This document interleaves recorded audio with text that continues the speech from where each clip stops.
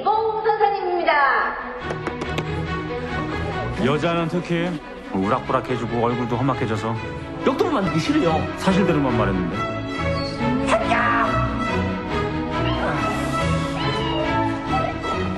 영자 너 역도부 들어올래? 아, 인자서 저를 알아보시는 갑네요. 어! 교육감님! 춘계 학생 역도대에 출전하나요?